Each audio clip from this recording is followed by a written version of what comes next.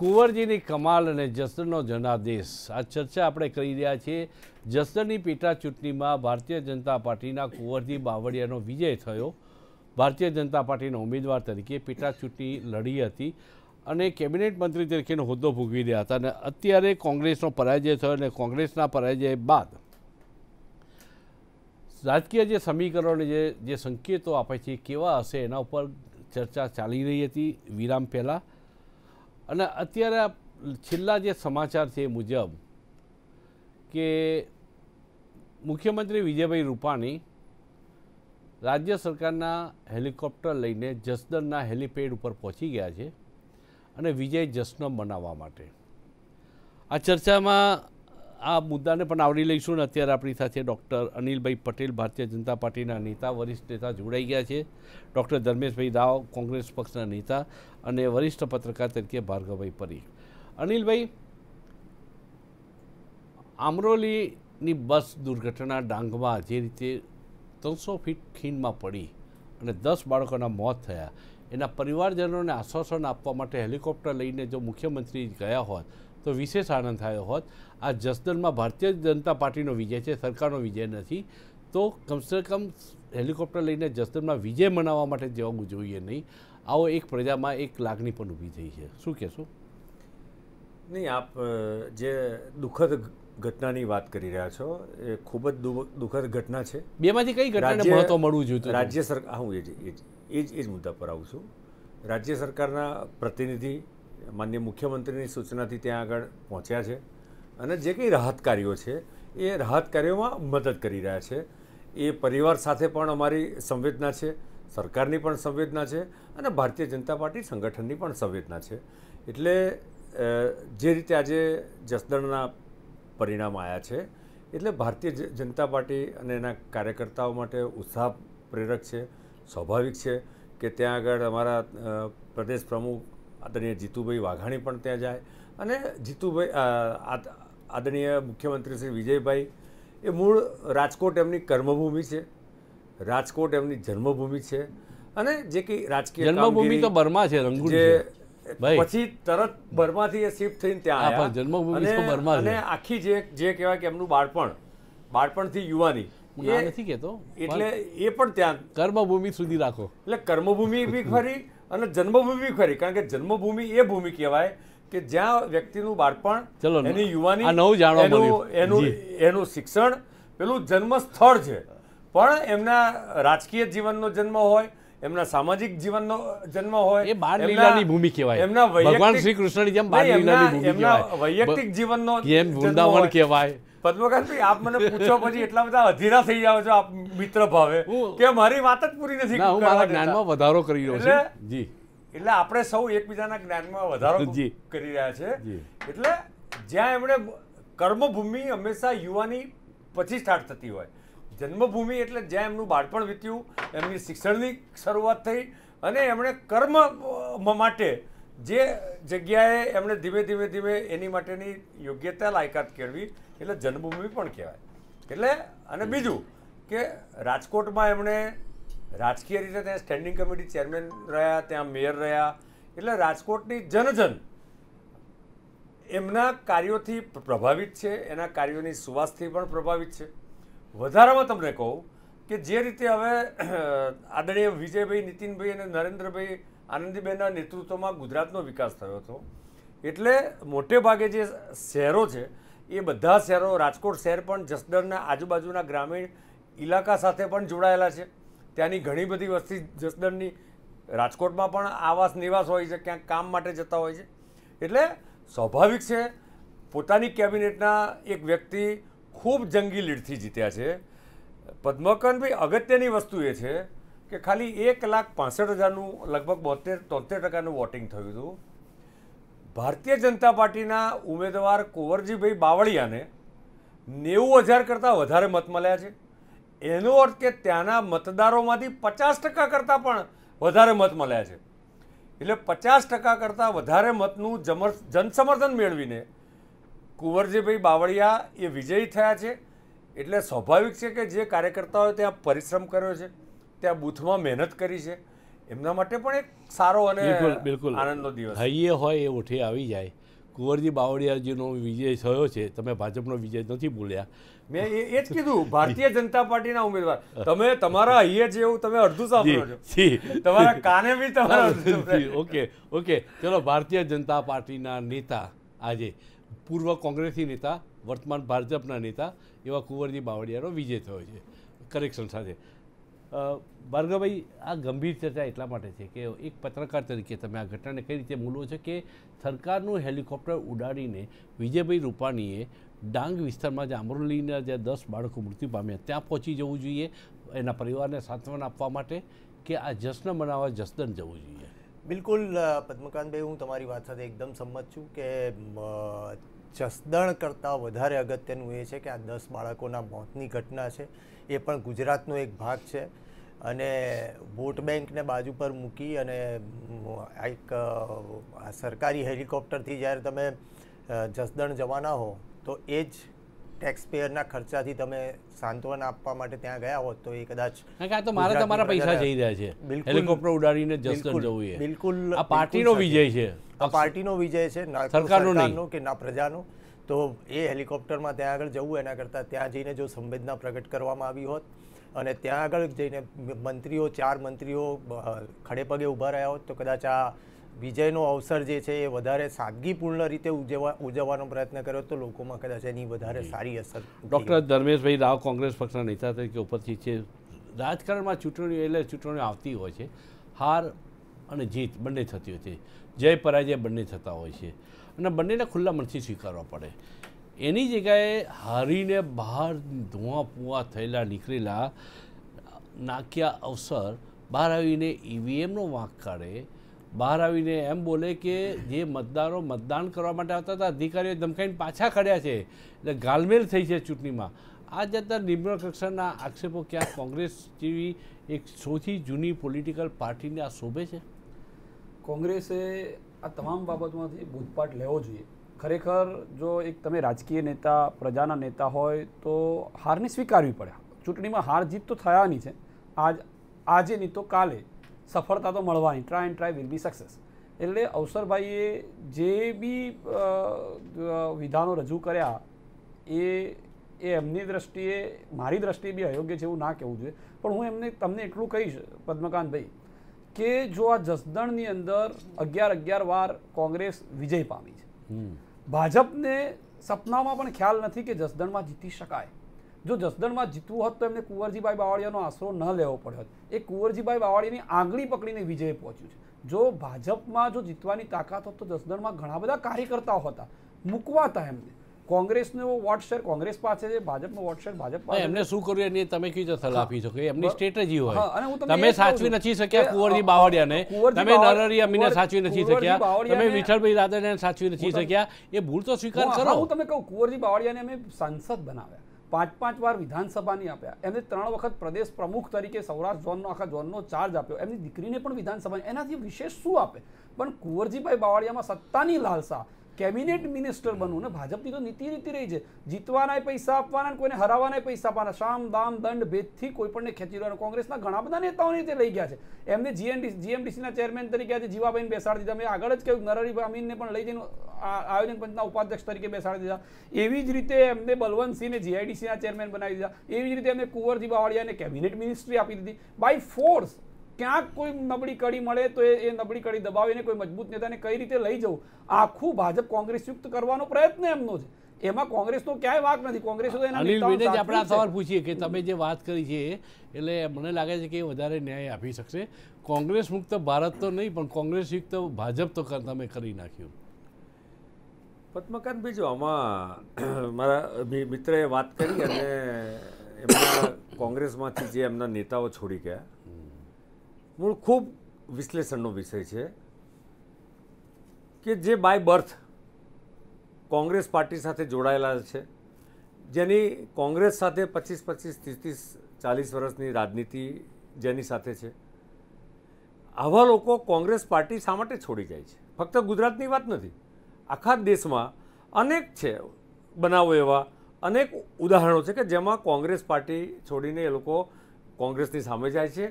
ક્યાંક ભારતીય જનતા પાર્ટી સાથે જોડાય છે ક્યાંક પોતાનો અલગ પક્ષ બનાવે છે.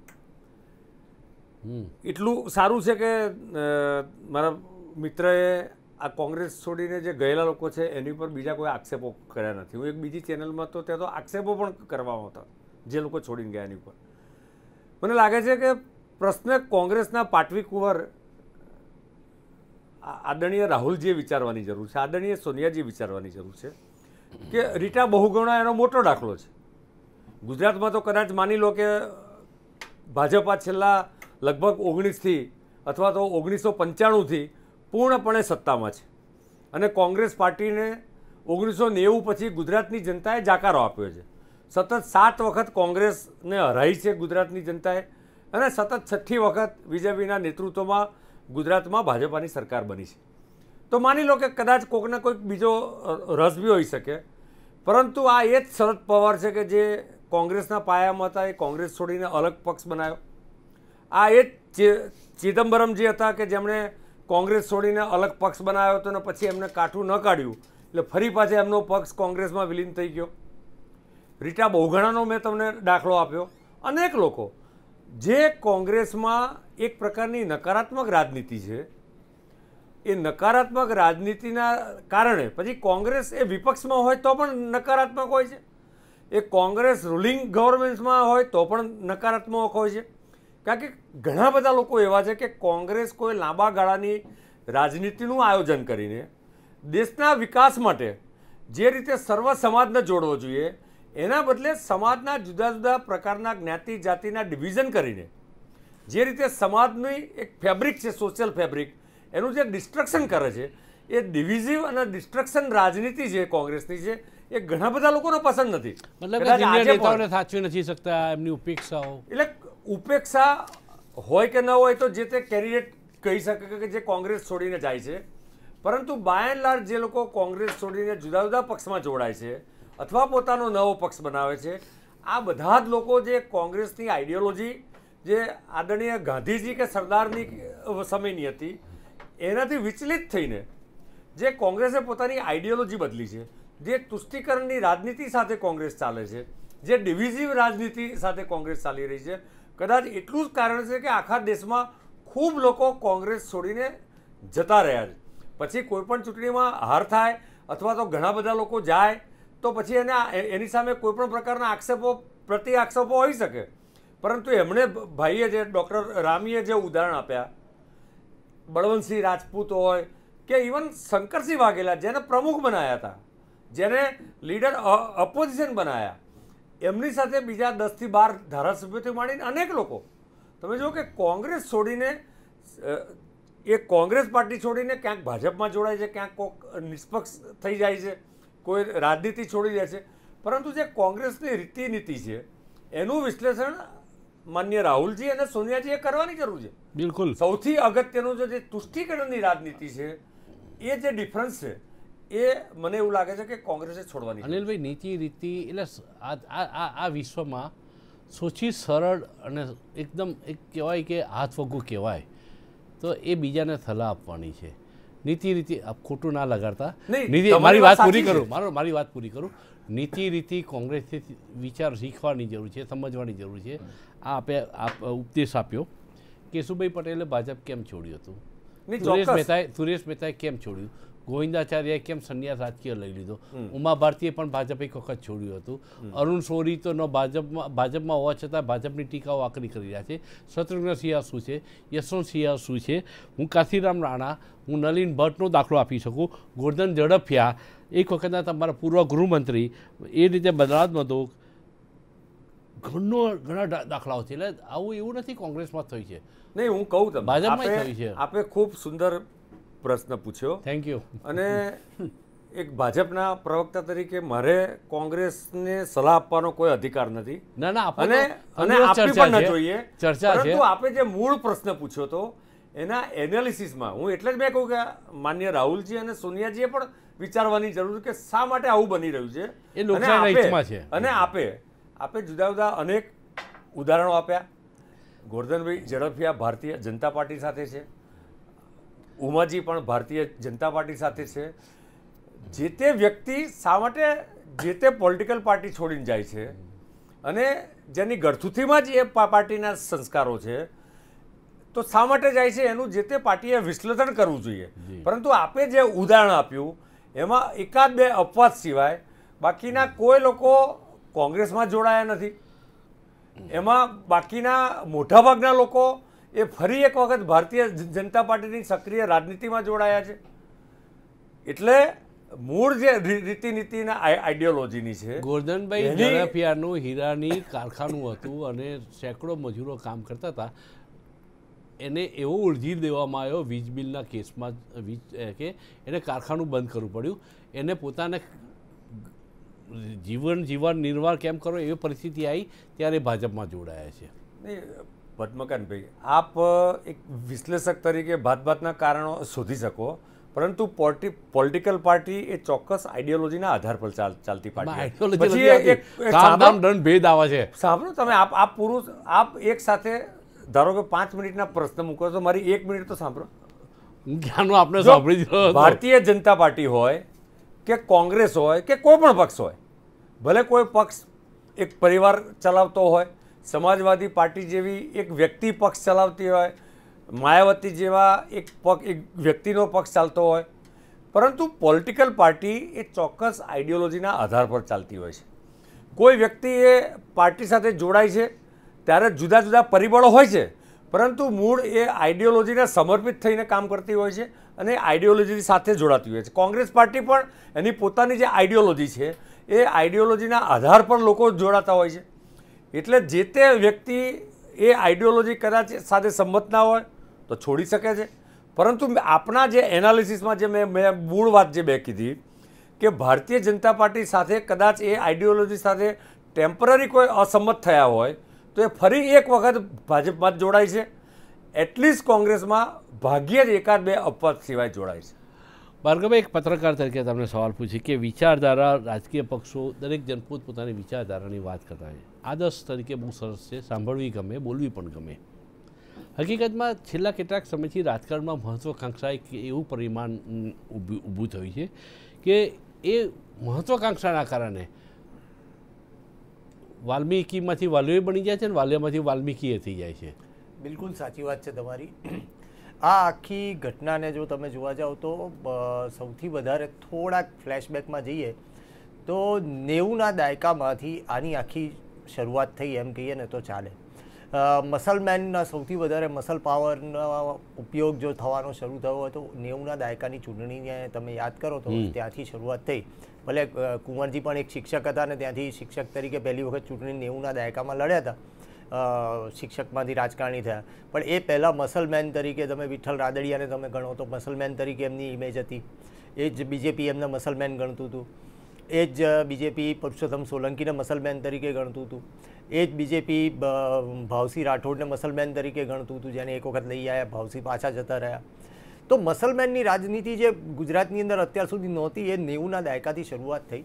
અને એ ત્યાંથી રાજકારણમાં મહત્વાકાંક્ષાઓની શરૂઆત વધવા માંડી કે સત્તા જેમ નજીક આવતી ગઈ એમ બંને પાર્ટીમાં જેમ કે શંકરસિંહ ઊભા ફાડિયા કર્યા પંચાણુંની અંદર અરે માફ કરજો છન્નુંની અંદર. બીજો બીજેપીની, બીજેપીના ઊભા ફાડિયા કરીને કોંગ્રેસ સાથે ગયા. ચીમનભાઈ પણ ચીમનભાઈને પણ કોંગ્રેસમાં ટેકો આપ્યો હતો. એટલે એક સમય એવો આવ્યો હતો પંચાણુંથી નેવું, નેવુંના દશકની અંદર કે કોંગ્રેસ ટેકા પાર્ટી તરીકે સીમિત થઈ ગઈ હતી અને ટેકા પાર્ટી તરીકે જ જાણીતી હતી અઠ્ઠાણું પછીનો જે સમયગાળો આવ્યો, એની અંદર પણ મહત્ત્વાકાંક્ષા કરતાં પણ વધારે જે જીતી શકે એ જ ચૂંટણી લડે એવી એક વ્યાખ્યા બની ગઈ અને જેના કારણે રાજકારણની અંદર મસલ પાવરનો મોટા પાયે ઉપયોગ થવા માંડ્યો અને મની પાવરનો પણ ઉપયોગ થવા માંડ્યો. સૌ વિદિત છે. એની અંદર આ આ કોથળો એટલે કંબલ ઓઢીને ઘી પીવા જેવી વાત છે. પણ આ મહત્વકાંક્ષા રાજકારણમાં આવ્યા પછી કેમ વધી છે એ એક તપાસનો વિષય છે. બે હું નામ અહીંયા નહીં આપું, પણ એક બહુ જ મોટા દિગ્ગજ રાજકારણીના કહેવા પ્રમાણે કે ચૂંટણીનો જે અમારો ખર્ચ હોય છે, એ પછીની અમારી સોશિયલ સિક્યુરિટી સુધીનો સમય જો અમારે જોવાનો હોય, તો એ જાણવા માટે, એ સાચવવા માટે અમારે લોકોએ ના છૂટકે કોઈના કોઈ લોકોના હાથા બનવું પડે છે. અને આ મહત્વાકાંક્ષા અને મની ઓરિએન્ટેડ જ્યારથી પોલિટિક્સ થવા માંડ્યું છે, ત્યારથી નીતિમત્તા નીચે ગઈ છે, એમાં કોઈ બેમત નથી. રીટા બહુગુણાથી મળીને ઘણા બધા દાખલા ડૉક્ટર અનિલભાઈએ આપ્યા અને ઘણા બધા સિનિયર નેતાઓ એક પછી એક કોંગ્રેસ પક્ષ છોડીને એટલે વિચારધારાથી ચલિત થાય છે કોંગ્રેસ પક્ષ. માટે જે વિચારધારાને વરેલી વ્યક્તિ નેતાઓ હોય, એ લોકોને પણ છોડવું પડે છે પક્ષ. એટલે કોંગ્રેસે નીતિ રીતિ એની એને વિચારવું પડશે એવું લાગે છે. એવો એક એક સામાન્ય સૂર છે. એમાં સમજશો તમે? કોંગ્રેસ એ કાર્યકર્તાઓની પાર્ટી છે અને કોંગ્રેસમાં જ્યારે દરેક કાર્યકર્તાને અમુક પદ જોઈએ, અમુક હોદ્દો જોઈએ અને ઘણીવાર અમુક લોકોને ના મળે એટલે એ નારાજ થઈને બીજી પાર્ટીમાં જતા હોય. એ દરેક પાર્ટીમાં આવું ચાલુ રહેતું હોય. પણ મારા સાથી અને એ બાબતે હું સંમત છું. ક્યાંક ને ક્યાંક અમુક નેતાઓની માંગણી પાર્ટી સંતોષી નથી શકતી. ને એ પાર્ટીના હિતમાં પણ કદાચ નથી હોતું એટલે એ લોકોને પાર્ટી પ્રત્યે પાર્ટીએ ઘણું બધું આપ્યું છે એમને. આમ છતાં અણગમો કરીને એ લોકો જતા હોય છે. પણ મારા સાથી મિત્રએ કહ્યું કે ભાજપ છોડીને કોંગ્રેસમાં કોઈ આવ્યું નથી. એવા કોઈ દાખલા નથી તો એ ગણાવી દઉં તમને. કે રમીલાબેન દેસાઈ એ અમદાવાદ જિલ્લા પંચાયત ભાજપમાં પ્રમુખ, એ ભાજપમાં આવ્યા કોંગ્રેસમાં આવ્યા પાછા ભાજપમાં ગયા. હરિભાઈ ચૌધરી ગાંધીનગર જિલ્લા પંચાયતના પ્રેસિડેન્ટ ભાજપમાં આવ્યા. શંકરસિંહ વાઘેલા જે મોટા મોટો દાખલો કે ભાજપમાં નથી. નહીં નહીં એ કોંગ્રેસમાં અનુભવ છે તમારા ત્યાં. કોંગ્રેસમાં આયા અને ભાજપમાં ગયા. ભાજપ પાછળ જવા પાછળનું કારણ પણ ભાજપ જ છે. ક્યાંક ને ક્યાંક આવા નેતાઓની એમની ભૂતકાળની દુખતી નસો દબાવવાની અને તમે ગોરધન ઝડપિયાની વાત કરી કે હીરાનું કારખાનું પણ રફે દફે થઈ ગયું. બરોબર? અને આવું પ્રેશર લઈને લઈ જવાના પાર્ટીમાં. કોંગ્રેસના જેટલા મજબૂત નેતાઓ છે જે વિસ્તારની અંદર ભાજપ પગ નથી બેસાડી શકતું એ વિસ્તારમાં પણ આ રીતે દુઃખથી નસો ક્યાંક ને ક્યાંક શોધવાની. દુખતી નસ દબાવે છે પણ રહુ વલી ઉલ્લાનું પ્રકરણ નથી હજુ તમને એ કહું. રહુ વલી ઉલ્લાનું જે રીતે મર્ડર થયું હતું એવા ચેપ્ટર નથી અને પછી એ લોકો ભાજપમાં ગયા પછી એમની શું હાલત થાય છે જોવા જેવી છે? તમે વિઠ્ઠલ રાદડિયાનું નામ આપ્યું એ બી હવે તમે જોજો આવનાર તમને ખબર છે ને રહુ વલી ઉલ્લા હા કોણ હતા? હા હા. હું તમને એનાથી આગળ કહું. હવે હવે અનિલભાઈ મહત્વાકાંક્ષા રાજકીય પક્ષોમાં વધતી જાય છે. આ વિચારધારાની વાતો બોલવા માટે સાંભળવા માટે બરાબર છે. હકીકતમાં વાસ્તવિકતા રાજકીય મહત્વાકાંક્ષા જ્યાં જ્યાં. એટલે તડજોડનું રાજકારણ અથવા તો મારે શું ને મારું શું એ ભાવ આ રાજકીય પક્ષોમાં પણ આવી ગયો છે.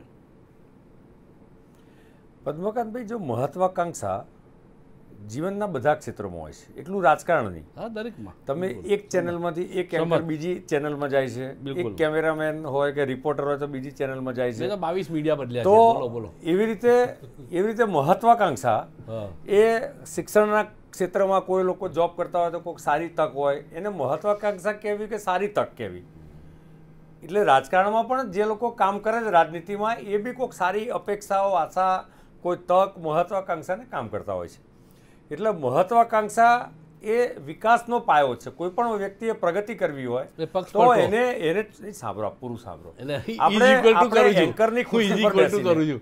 પદ્મકાંતભાઈ આપણે આપ ખૂબ સજ્જન છે મારા પણ મોટા વડીલ છો કદાચ મારાથી પણ ઉંમરમાં મોટા હશો આપના સન્માન સાથે કહું કે કોઈ પણ ક્ષેત્રમાં મહત્વાકાંક્ષા હોય તો જ એ વ્યક્તિ વધારે પરિશ્રમથી કામ કરે વધારે એ દોડે વધારે સમય રાજકીય પક્ષે વિચારધારા હોય છે અને નોકરી બદલનારને મહત્વાકાંક્ષા હોય છે. રાજકીય પક્ષોમાં મેં એમ કીધું અગાઉ જેમ કીધું એમ આઈડિયોલોજી સાથે કામ કરતા હોય છે લોકો રાજકીય પક્ષો. કોંગ્રેસની પણ આઈડિયોલોજી પરંતુ કોંગ્રેસની કેટલીક તુષ્ટિકરણની રાજનીતિ સાથે સંમત નથી. તો એવી રીતે દરેક વ્યક્તિને પોતાની પણ વિચારસરણી હોય. એ વિચારસરણી સાથે સંમત જે પક્ષ છે જેની આઈડિયોલોજી છે એમાં જોડાતો હોય છે. મૂળ વાત છે બે બાબતોની વાત કરીશ. એક મારા મિત્રે જે ઉદાહરણો આપ્યા, અને મેં અગાઉ પણ કીધું કે ભાજપા છોડીને કદાચ કોક ગયું હશે, તો મૂળ પાછો એને ઘર વાપસી તો થાય છે મૂળ પાર્ટીમાં આવે છે. એ પોતપોતાના વ્યક્તિગત કારણો પર જતા હોય છે. પરંતુ મારા આજે અગત્યનું જે એનાલિસિસ થયું ભાર્ગવભાઈને અભિનંદન આપું છું અને આપના પ્રશ્નને પણ આપું છું. એમણે ઓગણીસો નેવુંથી કર્યું એનાલિસિસ પરંતુ ભાર્ગવભાઈ ઓગણીસો ને સડસઠથી આપ તો ખૂબ સિનિયર પત્રકાર છો. ઇન્ડિકેટ ઇન્ડિકેટ અભ્યાસુ છો અને જે રીતે ઇન્દિરાજીના સમયમાં કામરાજ યોજના થઈ અને ઇન્ડિકેટ સિન્ડિકેટ ભાગ પડ્યા અને ત્યારબાદ મોરારજીભાઈ દેસાઈ કોંગ્રેસના જ મૂળભૂત કોંગ્રેસી સંસ્થા જે નહીં મૂળભૂત કોંગ્રેસી જે સંસ્થા કોંગ્રેસ બનાવીને સામે પડ્યા અને એમની જોડે અનેક લોકો આવ્યા એ વખતથી જે રીતે રાજનીતિનું ધોવાણ કરવાની શરૂ કરી અને આપ આપ જાણતા હશો. ભાર્ગવભાઈ આપ આપ આપ જાણો જ છો હું માનું છું એની પર બી થોડો પ્રકાશ પાડજો. ગુજરાતમાં લતીફ કે ઇબલા શેઠ કે મોહમ્મદ સુરતી આ બધા લોકો તો કોંગ્રેસની રાજનીતિમાં સીધા જોડાયેલા હતા મોહમ્મદ સુરતી જેને જેને કોર્ટે પણ સજા કરી હતી. એટલે જે રાજનીતિમાં મસલ્સ પાવર દ્વારા આખું રાજનીતિનું ધોવાણ કરવાની શરૂઆત આદરણીય ઇન્દિરાજી દ્વારા જે સડસઠમાં શરૂઆત થઈ અને જે રીતે એમણે શરૂઆતમાં મસલ્સ પાવરનો ઉપયોગ કર્યો મની પાવરનો ઉપયોગ કર્યો અને કોંગ્રેસ પોતે સત્તામાં રહી ધીમે ધીમે એ જ મસલ્સને મની પાવરવાળા લોકો કોંગ્રેસની રાજ મૂળ પ્રવાહમાં રાજનીતિમાં ગોઠવાઈ ગયા. એટલે હું ભાર્ગવીને એક વખત ફરી વિનંતી કરું છું કે જો આપ શક્ય હોય તો આપ એમને પણ એ સડસઠથી આખું એનાલિસિસ પૂછો કે કેવી રીતે આખી દેશની રાજનીતિનું ડિટોરેશન થયું. એમને ઓફકોર્સ ગાંધીજીએ તો આ કોંગ્રેસ પાર્ટીને ભંગ કરીને નવી પોલિટિકલ પાર્ટી બનાવવાનું કહ્યું હતું. ખૂબ સારું સૂચન હતું. પરંતુ સત્તાની જે ખુરશીની રાજનીતિને જે ચીટકી રહેવાવાળા જે લોકો હતા હું નામ નહીં દઉં આજે કારણ કે આજે અમારા માટે ખૂબ સારો દિવસ છે. એટલે મારે આજે રાજકીય ચર્ચા કરવી નથી પણ સેફોલોજીની દ્રષ્ટિએ અથવા તો ભાર્ગવભી જેવાના આપ જેવા સિનિયર પત્રકારની દ્રષ્ટિએ આનું રાજનીતિક એનાલિસિસ કરવું જોઈએ એવી મારી આપને પણ વિનંતી છે.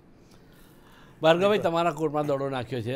ડૉક્ટર અનિલભાઈએ પણ હવે સમયની મર્યાદાના કારણે હું એક નાનકડી વાત કરી લઉં. કે ફિશરીઝ કૌભાંડમાં પરસોત્તમ સોલંકીનું નામ ઉછર્યું. અને અત્યારે તો હાઈકોર્ટે તેડું કર્યું છે. ત્યાં સુધીના ગાળામાં એમને ક્લીન ચીટ નથી મળી. છતાંય એમને મંત્રીમંડળમાં સમાવવા અને ટિકિટ આપવી એ શું હતું? અને બીજી વાત રેતી ખનનમાં બાબુભાઈ બોખેરિયાને સજા થઈ નીતિ કોર્ટમાં. હાઈકોર્ટમાં સ્ટે લઈ આવ્યા પણ એ ગાળામાં એક દિવસ માટે એક કલાક માટે પણ રાજીનામું બાબુભાઈ બોખેરિયાને આપવું નહોતું પડ્યું. તો મહત્વાકાંક્ષા એટલે તુષ્ટિકરણનું રાજકારણ, તો હવે તો દર- સર્વવ્યાપી થઈ ગયું છે. જો આ બંને ઉદાહરણો પદ્મકાંતભાઈ તમે બહુ જ સારા આપ્યા. હું આ જ પાર્ટી બીજેપીની જ પાર્ટીની વાત કરું. આ બંને જણાએ રાજીનામું ના આપ્યું. યાદ કરો અશોક ભટ્ટ અને હરીન પાઠક બંને જણાએ રાજીનામું આપ્યું હતું ચોર્યાસીના લક્ષ્મણ કોન્સ્ટેબલ મર્ડર કેસમાં. અને એમણે મંત્રી પદેથી રાજીનામું આપીને એક દાખલો બેસાડ્યો પણ એ દાખલાઓ ધીમે ધીમે ભૂસાતા જાય છે. અનિલભાઈએ જેમ કહ્યું કે જૂના વખતથી આપણે એનાલિસિસ કરવું જોઈએ. બહુ સારી વાત છે. સેફોલોજીમાં ત્યારથી જ આઈઓયુ નામનો શબ્દ ઇન્ડેક્સ ઓફ ઓપોઝિશન યુનિટીનો શબ્દ ત્યારથી જ શરૂ થયો જ્યારથી સંસ્થા કોંગ્રેસ અને ઇન્દિરા કોંગ્રેસની શરૂઆત થઈ. સવાલ એ જમાનામાં મસલ પાવરને લોકો રિજેક્ટ કરતા હતા.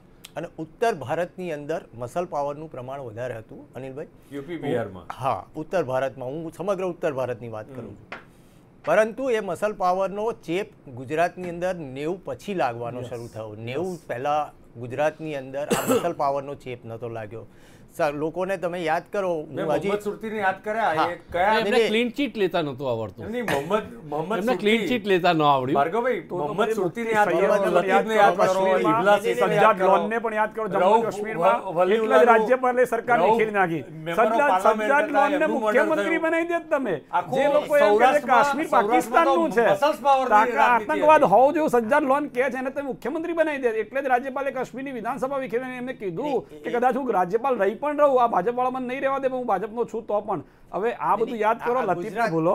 ગુજરાતની જનતા પહેલાં વધારે પડતી રાજકીય બાબતમાં ઉદા બહુ જ સંવેદનશીલ હતી અને એનું ઉદાહરણ ઓગણીસો ને ચુમ્મોતેરનું આંદોલન છે જેમાંના ઘણા નેતા બીજેપીમાં પણ છે. અને તમને યાદ હોય તો હું એ પણ યાદ કરાવું કે લોકોના ઘરે જઈને ધારાસભ્ય જોડેથી રાજીનામા લેવડાયા હતા. આ ગુજરાતની જનતા હતી. ત્યારથી કોઈની મસલ પાવર લાવવાની હિંમત નથી થઈ પણ નેવુંથી આ મસલ પાવર આવવાની ગુજરાતમાં શરૂઆત થઈ. અને હું ગુજરાત હું પક્ષાપક્ષીમાં પડવા નથી માંગતો. નેવું પહેલા જ હતા એ મોહમ્મદ સુરતી. મોહમ્મદ સુરતી નેવું પછી પ્રકાશમાં ના, સાહેબ. મોહમ્મદ સુરતી ઇબલા શેઠ, મિનિસ્ટર હતા. મોહમ્મદ સુરતી મિનિસ્ટર હતા મિનિસ્ટર હતા. એમએલએ રહી ચૂક્યા હતા એમાં મોહમ્મદ સુરતી એકલા નહીં. મિનિસ્ટર તમે પંચ્યાસી ના આંદોલનની અંદર દરિયાપુરના ધારાસભ્ય પણ ખરડાયા હતા એ પણ કોંગ્રેસના હતા. એ કહેવામાં મને કોઠીમાંથી એટલે એક નાનકડો એક ફરી વિરામ લઈએ. કોઠીમાંથી કાદવ ઉલેચવા જઈશું, ઉલેચતા જઈશું તો કાદવ જ નીકળ્યા કરશે અને કાદવ હોય ત્યાં પાછું કમળ પાછું ખીલે છે.